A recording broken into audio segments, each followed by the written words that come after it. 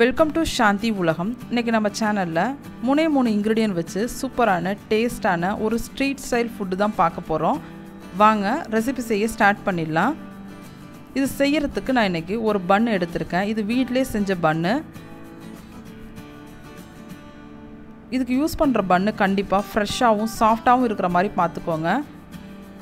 என்னோடய பன் வீட்டில் செஞ்சதால் நான் ஈஸ்ட் கம்மியாக யூஸ் பண்ணியிருக்கேன். அதனால் கொஞ்சம் ஹார்டாக இருக்குது நீங்கள் முடிஞ்ச அளவுக்கு சாஃப்டாக எடுத்துக்கோங்க.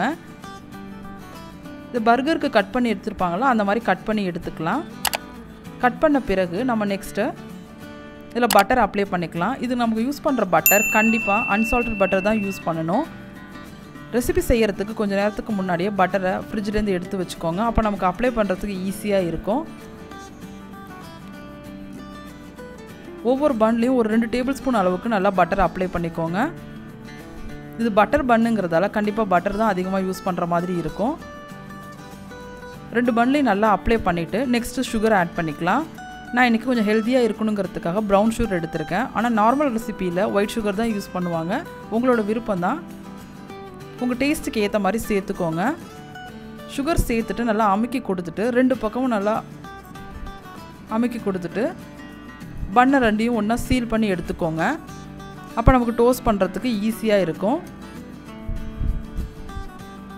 ஹெல்த்தியாக வெயிட் கெயின் பண்ணணும் அப்படின்னு நினைக்கிறவங்க வீக்லி ஒன்ஸ் இந்த மாதிரி ட்ரை பண்ணி பாருங்கள் அவ்வளோதான் இந்த மாதிரி சீல் பண்ணிவிட்டு நம்ம டோஸ்ட் பண்ணி எடுத்துக்கலாம். பன்னு ரெடி ஆகிடுச்சு இது டோஸ்ட் பண்ணுறதுக்கு நான் இன்றைக்கி நான்ஸ்டிக் பேன் எடுத்திருக்கேன். உங்கள்கிட்ட அயன் பேன் இருந்ததுன்னா பெட்டர் அதை யூஸ் பண்ணிக்கோங்க.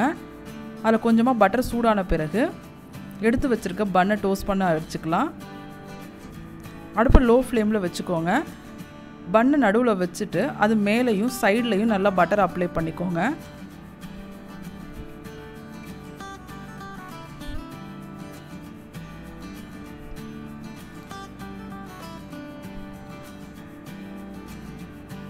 நமக்கு இந்த பட்டரில் பன்னு நல்லா டோஸ்ட் ஆகிட்டு கலர் கோல்டன் கலரில் வரணும். க்ரன்ச்சியாகவும் இருக்கணும். அதனால் எவ்வளோ பட்டர் சேர்க்க முடியுமோ அவ்வளோ சேர்த்துக்கோங்க.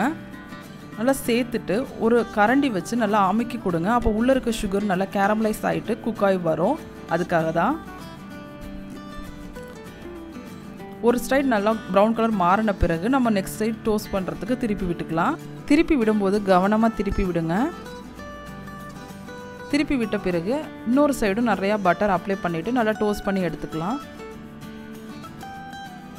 உங்களுக்கு பார்த்தீங்கன்னா தெரியும் நல்லா கலர் சேஞ்ச் ஆகி வரும் நல்லா க்ரன்ச்சியாகவும் இருக்கும். அந்த ஸ்டேஜில் நம்ம சர்வ் பண்ண ஆரம்பிக்கலாம் எடுத்துகிட்டு இந்த ஃபுல் ப்ராசஸும் நல்லா அடுப்பு லோ ஃப்ளேம்லேயே வச்சு பண்ணுங்கள்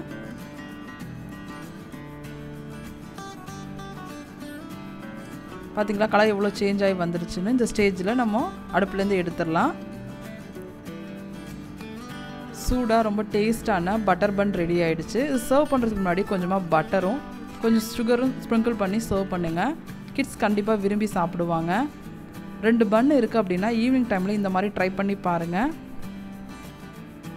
ட்ரை பண்ணி பார்த்துட்டு உங்களோட ஃபீட்பேக் கமெண்ட் பாக்ஸில் கொடுங்க. ரெசிபி பிடிச்சிருந்ததுன்னா லைக் பண்ணுங்கள் ஷேர் பண்ணுங்கள் சாந்தி உலகம் சேனலை சப்ஸ்கிரைப் பண்ணாதவங்க சப்ஸ்கிரைப் பண்ணிக்கோங்க. பக்கத்தில் இருக்க பெல் ஐக்கான் கிளிக் பண்ணிக்கோங்க. தேங்க்ஸ் ஃபார் வாட்சிங்